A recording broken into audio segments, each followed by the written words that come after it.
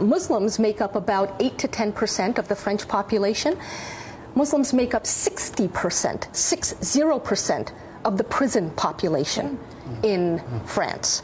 I am more convinced than ever that the path to radicalization for these two brothers was the prison system itself. Mm.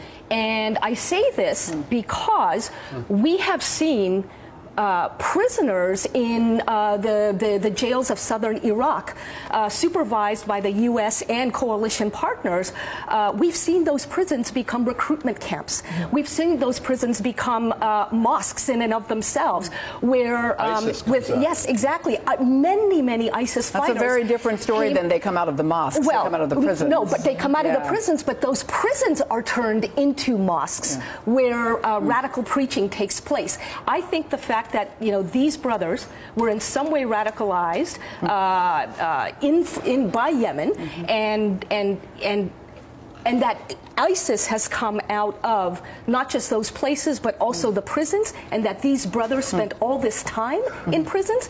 I'm connecting the dots right yeah, now, and i am thinking that the path to radicalization for these two, not for everybody, yes. for these two, may have been the fact that they were, you know, they, they were subject to this uh-huh. kind of preaching in jails, which mm-hmm. is where they met their mentor. Right. And when you finally, you know, connect it back to the fact that, as I said earlier, 60% of the yep. prison population yeah. In France is Muslim or of Muslim heritage, there's a problem.